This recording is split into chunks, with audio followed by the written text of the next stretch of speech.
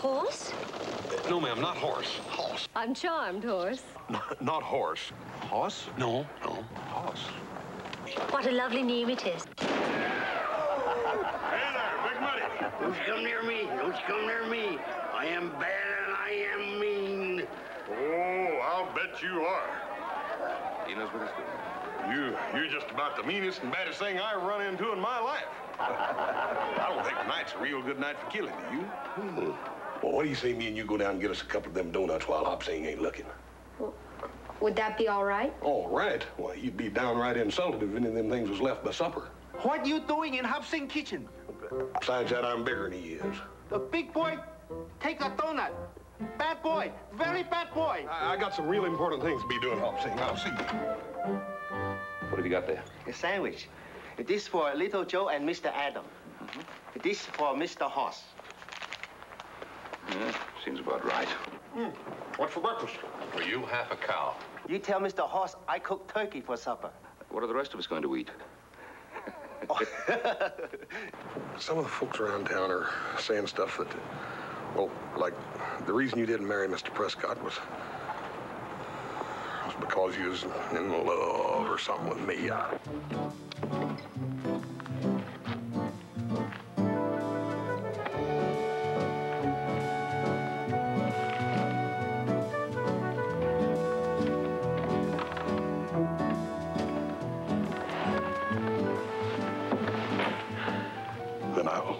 Take her hand, just like Little Joe taught me, and give her that evil eye of his'n.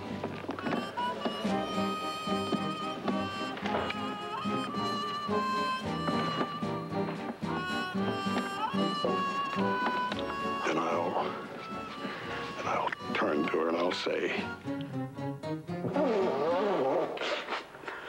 That burn, if that wasn't the, wasn't the prettiest thing I ever heard. Why, you sanctimonious bag of wind, why don't you shut up? Is this thing practical?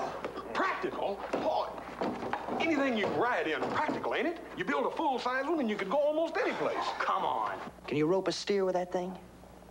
No, Can you hit six of these together and, and haul freight? You, you just can't always prove things out ahead of time. Sometimes you, you got to just have faith and, and you go ahead and do something, and then when you get it done, you point to it and say, now, there, that, that's what I mean. If I was to tell you something, a big secret, would you would you promise not to laugh at me? Hoss, have I ever? You know that Professor Clump? Well, he's got this invention, see? And I'm gonna fly it. Fly, fly it. And then I'm gonna be one of them one of them giants among men.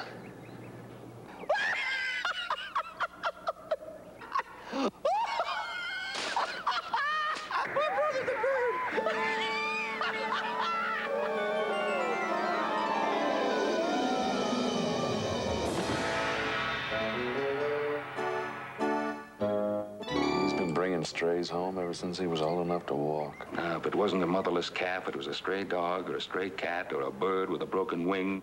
That silly notion about trying to help people. I just don't know where he gets it from.